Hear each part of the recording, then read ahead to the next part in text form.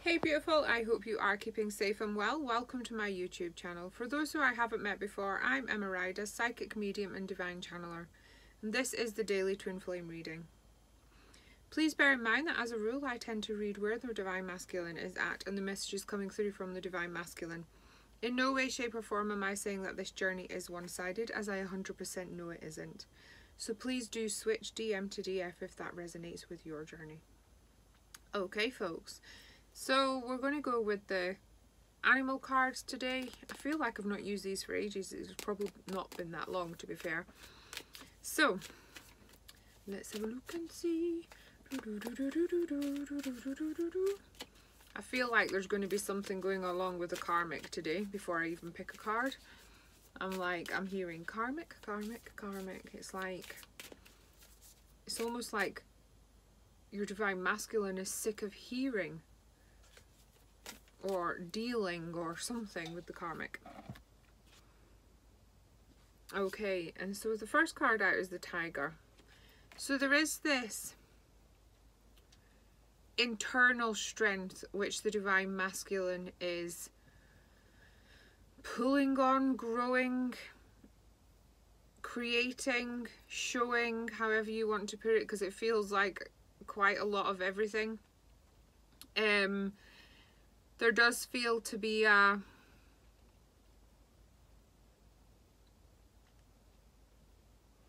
and I feel like I'm like wanting to pull that strength up and like open up. Okay.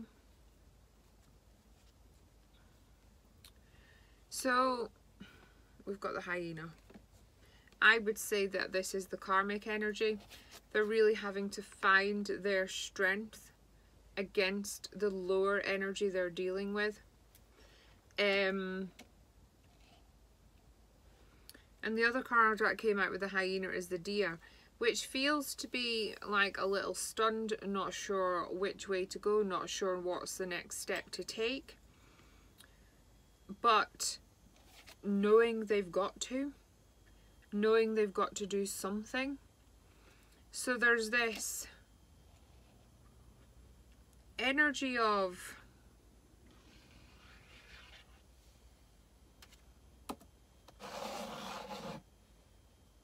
it's almost like feeling stuck to the spot because they're unsure of what to do. And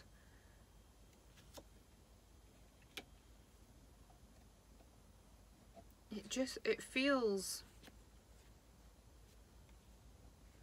And then we've got the bear card. So it feels like, I want to say their gentleness and their kindness struggles with the energy of the karmic. But the bear is also strong. It's got a hidden strength that when they need to show it, they will. Um, so it does feel like they're battling with this karmic energy, but they have this inner strength which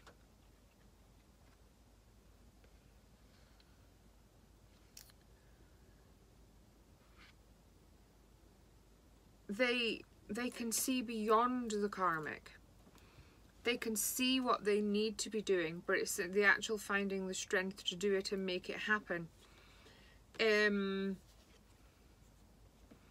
which is causing ups and downs in their energy. One minute they're okay, next minute the karmics may be weighing them down. So that is why you're maybe picking up on their energy being very up and down. It is up and down because this is affecting their energy. Um, but the important thing is the strength to see beyond where they're at. The strength to know that that is going to change, that that is not what they want. And they're finding it frustrating. They're finding the situation frustrating because they don't want to be having that battle with the karmic. They'd much prefer to have moved forwards from that by now and be in the future. So this for but this frustration which it is really annoying if there's a bee buzzing around you all the time you can't get rid of. I do feel is pushing them to really bring to break through that gentle strength and really show the tiger strength because they're needing to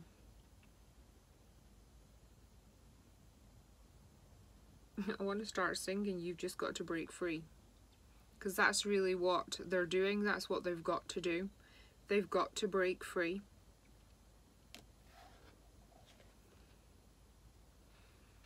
And they will.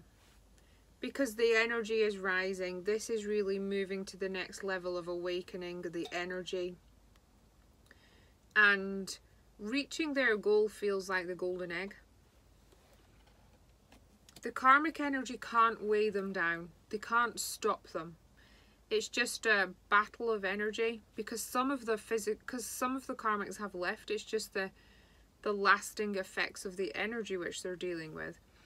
I know some karmics are still physically there, but this last battle really does feel like the breaking free challenge where they're really having to stand in their power, stand in their strength, and really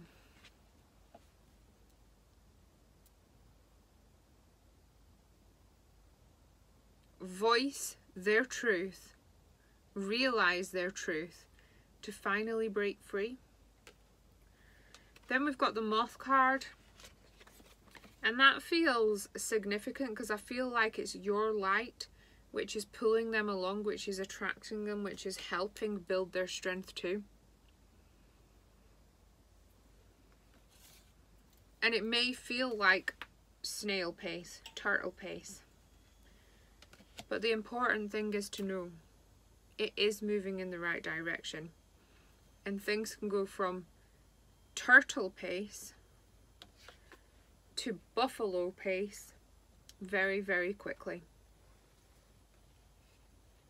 And the buffalo is strong, it's determined, it's forceful. And that is the energy that they're needing to find and needing to be. And they are. And your strength, your light, is helping them along too. Don't give up. Okay, beautiful. Thank you so very much for joining me. Please do me a favour and like and comment on the video. And if you haven't already, please hit that subscribe button. I am truly grateful for each and every single person supporting the channel. Thank you, thank you, thank you, thank you, thank you. Please do take care, stay safe, and I look forward to seeing you tomorrow. Namaste. Bye.